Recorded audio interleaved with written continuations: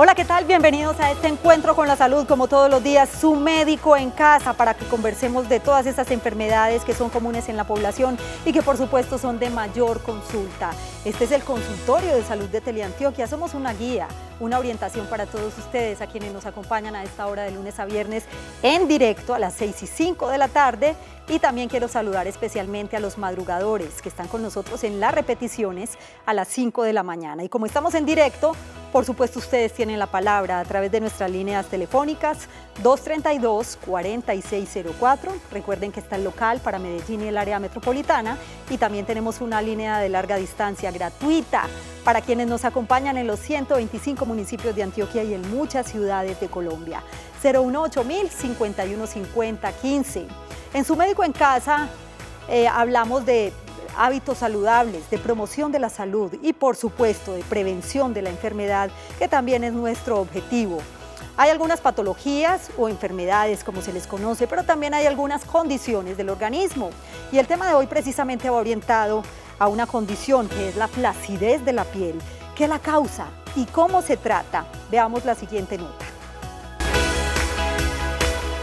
La flacidez de la piel es la pérdida de firmeza de esta debido a la disminución o debilidad de los tejidos de sostén, el colágeno y la elastina. Su localización más frecuente es en las zonas del rostro, papada y caída en ángulo mandibular o párpados, entre otros. Existen diversas causas. Una de las más frecuentes es el paso del tiempo. Las proteínas que mantienen la piel firme y adherida sobre los músculos van perdiendo eficacia con el paso de los años. Para retardar su aparición es conveniente tener en cuenta el estilo de vida que llevamos y cuáles son nuestros hábitos de consumo. Una alimentación excesiva en grasas, la presencia de toxinas y el sedentarismo deben evitarse. Esto para que nos pongamos en contexto acerca del tema del día. Y aquí estamos además para que conversemos de este tema tan apasionante que tiene que ver con la salud de nuestra piel. Así que los invito para que se pongan cómodos y se queden con nosotros durante los próximos minutos, porque su médico ya está en casa. Bienvenidos.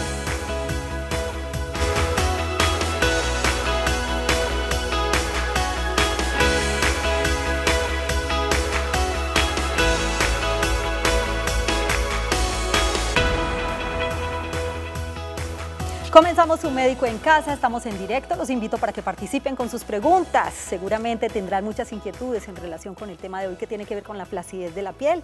Ya lo veíamos, hay algunas zonas del cuerpo, algunas áreas que son más sensibles que otras, el área del rostro, por ejemplo, de la piel, de la papada, de los ojos, estas ojeras o bolsitas que a veces se nos forman. Y es que resulta que el paso de los años, pues obviamente tiene mucho que ver, pero también una conducta o unos hábitos saludables. Está con nosotros la doctora Mary Álvarez, ella es médica cirujana especialista en medicina estética. Gracias por estar acá, doctora Mary, bienvenida. por la invitación. Qué gusto que nos acompañe, como siempre, en su médico en casa para dar respuesta a tantas inquietudes de los televidentes y en relación con el tema de hoy que tiene que ver con la flacidez de la piel. No solamente pueden participar en nuestras líneas telefónicas, también pueden interactuar con nosotros en redes sociales, en Twitter, numeral su médico en casa, arroba Teleantioquia y en Facebook nos encuentran como canal Teleantioquia. Doctora Mary, para comenzar, ¿qué es la flacidez de la piel? ¿Por qué se produce? Bueno, te cuento que los daños producidos por el sol, el estrés, las hormonas, sobre todo a partir de los 30, 35, 40 años, vamos perdiendo, por ejemplo, las mujeres van perdiendo los estrógenos, que es lo que le da la vitalidad a la piel, y los hombres van perdiendo la testosterona. Y obviamente el subir y bajar de peso, todos esos factores desencadenan flacidez que se manifiesta por pérdida de colágeno, elastina y ácido hialurónico. Y es muy, muy importante, Yasmín, conocer eh, y saber por qué hay personas que hacen dietas excesivas, o sea, empiezan, quieren bajar rápido, rápido y eso es muy malo. ¿Por qué? Porque obviamente lo primero que el organismo quema es el músculo y nosotros debemos quemar principalmente la grasa y no el músculo, que es lo que sostiene obviamente nuestro cuerpo. Y es que la piel definitivamente es nuestra carta, es como nuestra portada de, presentación.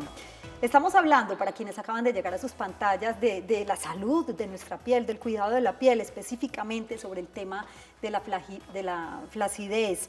Doctora Mary, existen factores de riesgo. Sin duda alguna, pues el, tema de los años es muy importante, es un factor determinante en la flacidez de la piel, que produzca la flacidez de la piel. Pero hay algunos estilos de vida poco saludables que también contribuyen a, que la piel se vea flácida a temprana edad. Sí, te cuento que, por ejemplo, eh, todos esos factores externos pueden generar flacidez. Por ejemplo, las personas que fuman mucho, las personas que trasnochan. ¿Por qué? Porque se ha demostrado que entre las 2, 3 de la mañana es donde mayor estimulación de colágeno, elastina hay dentro de nuestro cuerpo. ¿Qué significa? Si una persona no tiene un sueño eh, restaurador y no duerme las suficientes horas, donde debe ser mínimo 7 horas, obviamente el colágeno y la elastina que se produce es de mala calidad. También tiene que ver mucho, por ejemplo, las personas que consumen muchas grasas y no consumen alimentos ricos en proteínas. ¿Por qué? Porque la grasa, obviamente, el músculo se convierte en grasa y obviamente no nos va a favorecer nada. Y dietas eh, bajas en proteínas. Todo lo que contenga proteínas, por ejemplo, lo que se encuentra en la carne, pollo, pescado, todas las, carnes blancas son ricas en proteínas, que es lo que le da eh, sostén, obviamente, a nuestra piel. Entonces, factores externos y los radicales libres. ¿Qué son los radicales libres? Los radicales libres son moléculas inestables que se pegan a las células buenas de mi organismo produciendo un envejecimiento prematuro y produciendo una flacidez.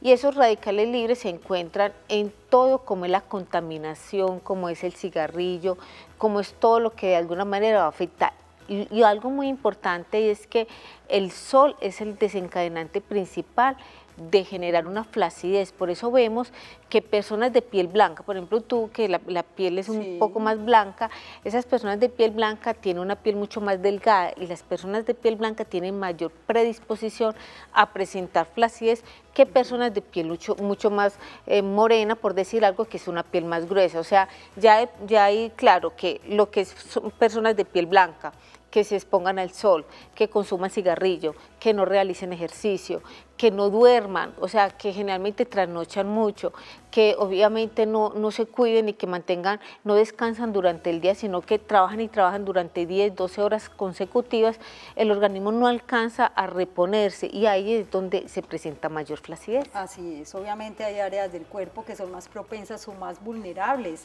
a padecer de flacidez de la piel, obviamente los años también tienen mucho que ver. Eh, yo los invito nuevamente para que participen en este programa, lo hacen ustedes, aprovechen el espacio para que le hagan sus preguntas a la doctora Mary Álvarez que nos acompaña hoy aquí en su médico en casa. Nuestras líneas telefónicas las van a ver en pantalla también para que participen en el 232-4604 y 018000 515015 y les hago una pregunta también, ¿cómo cuidan ustedes, por ejemplo, su piel? ¿Cómo? Porque siempre lo hemos dicho acá en repetidas oportunidades, doctora Mary, en los programas anteriores, y es que lo que uno siembre a temprana edad es, lo que va a recoger bien o mal más tarde. Sí, te cuento que yo tengo pacientes que dicen, doctora, es que yo me vine a cuidar a partir de los 50 o 55 años. ¿Y por qué tengo tantas arrugas o por qué tengo la piel tan flácida? Y eso pasa. Si yo desde temprana edad, o sea, a partir de los 25 años nosotros vamos a empezar a perder colágeno y elastina, o sea, nosotros nacemos con un colágeno que es el tipo 1, que es el que vemos esos bebés rozoagantes, pero ya a partir de los 25 años obviamente se va perdiendo el colágeno y se convierte en un colágeno tipo 3 que no es de buena calidad. Y esa muy temprana edad. Es muy temprana edad, exacto, pero a los 25 todavía nos vemos muy bien, a los 30, a los 35 ya vemos cómo aparecen las arrugas aquí debido obviamente a la flacidez y vemos que uno de los síntomas principales en el rostro es cuando se va perdiendo la zona malar, o sea, vamos perdiendo esta parte acá, se va cayendo y se marca ese surco naso-labiogeniano y vemos una flacidez muy marcada en el tercio medio inferior del rostro. Mm. El cuello, el cuello muchas veces nos dedicamos a, cuidar el rostro, pero el cuello es uno de los lugares donde es santo y las manos eh, básicamente tienden a envejecerse muy rápido y a presentar mucha flacidez. Entonces es fundamental que entre más temprana edad, o sea, a partir de los 20, 25 años, ¿qué debemos hacer? Lo que es la rutina diaria de productos para mantener una piel obviamente sana y saludable. La acidez de la piel, ¿qué la causa y cómo se trata? A esta hora nos acompaña Denis en el municipio de Itagüí. Bienvenida, qué gusto escucharla en su médico en casa.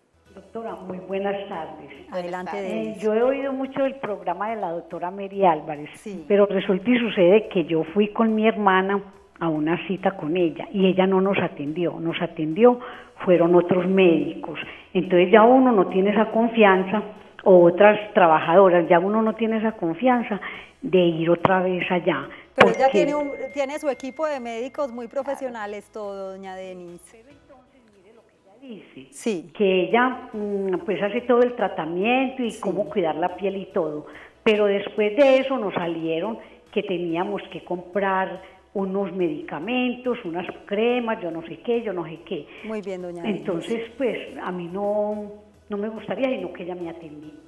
Claro que sí, muchas gracias por acompañarnos, doña Denis, y entendemos perfectamente que todo el mundo quiere es que la atienda la doctora Mary, pero sin embargo, como decíamos, pues también trabaja con un equipo de profesionales, porque la doctora Mary pues también se agotaría. doctora, ¿qué le podemos decir a la televidente? muchas gracias por, la observación y obviamente quisiéramos atender todos los pacientes, pero tenemos un equipo de cinco médicos dentro de la institución y obviamente tenemos otra sede. Eh, lo más importante es que todos manejamos el mismo idioma, todos manejamos los mismos protocolos y cuando se habla de que se envían unos productos es ¿por qué? Porque no solamente trabajamos desde la parte externa, sino desde la parte interna. Y es ese acompañamiento. Entonces, lo ideal es obviamente tener una asesoría de todo el equipo de trabajo donde todos, lo más importante es que esté tranquila, que todos los médicos hacemos el mismo trabajo y tratamos de hacerlo lo mejor posible. Así es, por supuesto, doctora Mary. Bueno, decíamos, volviendo al tema o retomando el tema de la flacidez en la piel, que es del que estamos hablando hoy en su médico en casa, que hay áreas que son más propensas a padecer o a sufrir, a sufrir de flacidez. Estamos hablando, por ejemplo, del área, obviamente, del rostro, de la cara, el cuello y las manos. Ahora, ¿qué debemos hacer entonces por lo menos para retardar un poquito esa flacidez de la piel, doctora? Bueno, te cuento que una de las áreas más, más predispuestas es esta zona, que es la zona del área de los ojos, sobre todo en el párpado inferior, porque es cinco veces más delgada que la del resto del cuerpo. Entonces, ¿qué significa eso? Todos los días en la mañana siempre utilizar un contorno de ojos a base de ácido hialurónico o antioxidantes que nos ayuden a mantener esta zona hidratada. Eh, en la zona del cuello. Muchas veces eh, cuando ah, ah, tenemos la rutina diaria, ¿cuál es la rutina diaria? Siempre en la mañana debemos utilizar una limpiadora, o sea, lavarnos el rostro en la mañana, después utilizar una hidratante, luego utilizar un contorno de ojo, pero cuando vamos a utilizar la hidratante, siempre de así, en esta forma ascendente, de abajo hacia arriba y en esta forma, ¿para qué? Para evitar que si nosotros hacemos y aplicamos los productos hacia abajo, obviamente la tendencia es a que se caiga mal la piel. Entonces siempre en esta forma ascendente y siempre trabajar tanto el pecho como el cuello. Y hay algo importante, Yasmín, yo les digo a los pacientes, si aplicaron toda la, hidratante, lo que quede se lo aplican en las manos, todos los días, por lo mismo, porque nos dedicamos al rostro, pero dejamos el cuello y las manos desprotegidas utiliza siempre el protector solar. Igual, siempre desde el pecho, cuello, rostro y manos. Y obviamente en la noche lavarnos la cara nuevamente. ¿Por qué? Porque muchas personas se acuestan tarde de la noche a la hora que se van a acostar y no se lavan el rostro. Durante todo el día está la contaminación, todo lo que generalmente se, se acumula en nuestro rostro. Entonces es fundamental limpiarnos el rostro, utilizar por ejemplo un producto a base de vitamina C que es un antioxidante que nos ayuda también a proteger la piel y obviamente el contorno de ojo. Con eso que estamos logrando, logrando un rejuvenecimiento y ayudando que cuando la piel se va, va a producir colágeno entre las 2 3 de la mañana, esté en el ambiente adecuado para que ese colágeno sea de buena calidad. Muy bien, doctora Mary. Supongo que están entrando inquietudes también de los televidentes en, en su línea telefónica.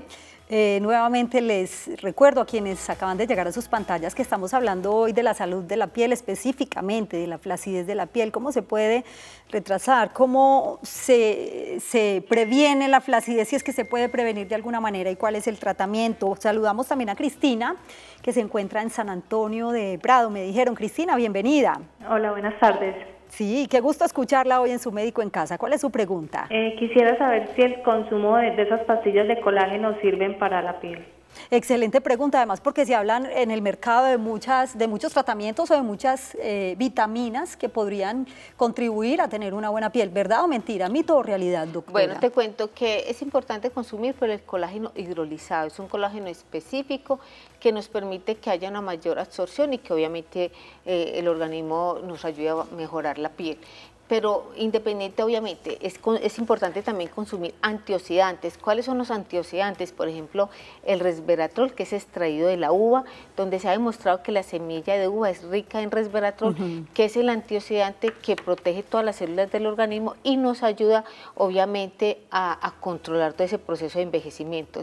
Los todos los alimentos, todos los alimentos, por ejemplo, las, frutas, las verduras, las legumbres, las hortalizas, son ricos en vitamina E, vitamina C, vitamina K y obviamente la vitamina A. O sea, fundamental el colágeno, fundamental el resveratrol y fundamental consumir obviamente el calcio, porque obviamente con el paso de los años vamos perdiendo calcio, sobre todo después de los 40 años. Hay que aprovechar las recomendaciones de la doctora Mary y dejo una pregunta antes de ir a la pausa muy breve, por cierto, ¿cómo hidratar la piel para mantenerla saludable?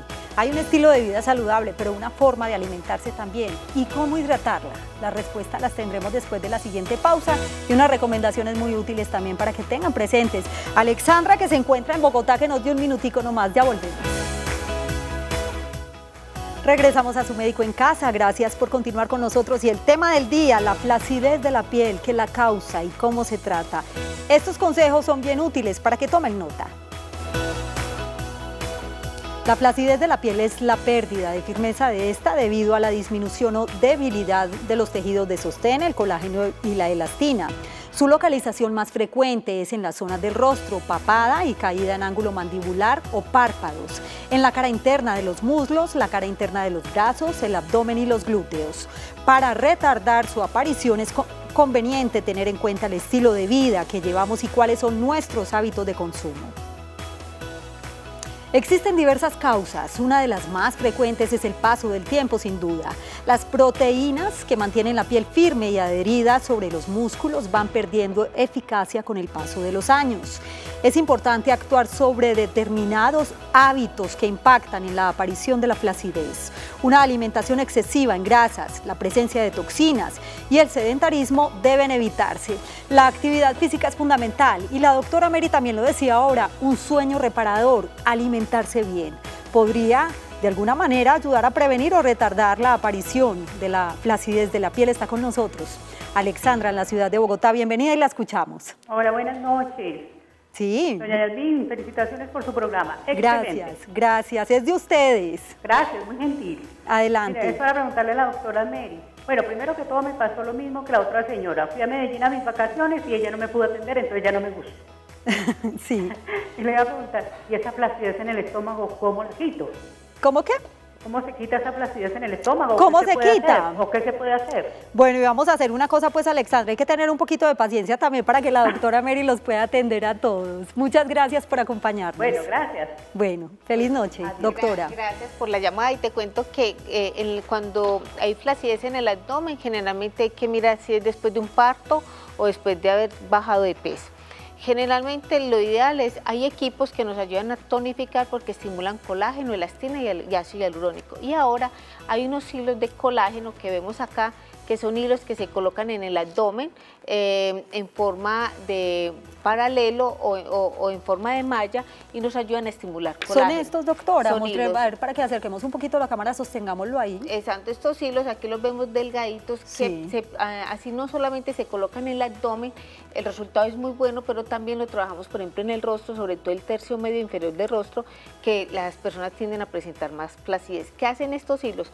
Lo que hacen es regenerar colágeno, elastina y ácido hialurónico tiene una duración de siete meses. Esto significa que están en el cuerpo siete meses y luego el organismo lo reacciona. ¿Y funciona para el área del abdomen? Sí, funciona muy bien para el abdomen, pero obviamente, como todo, Yasmin, se, debe, complementar. se debe complementar.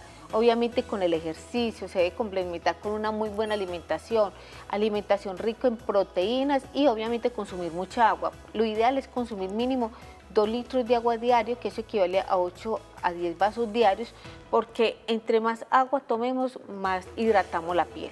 Doctora Mary, antes de despedirnos, que nos queda ya un minutico solamente, ¿cómo hidratar adecuadamente la piel para mantenerla saludable? Entonces, primero, consumir agua. Segundo, utilizar productos que sean a base de ácido hialurónico, colágeno o elastina.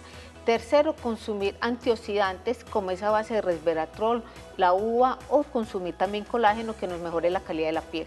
Y cuarto, realizar ejercicio que nos permita mantener la piel tonificada pero ante todo mejorar nuestra calidad de vida y tener un buen, buen, estilo de vida. ¿En qué sentido?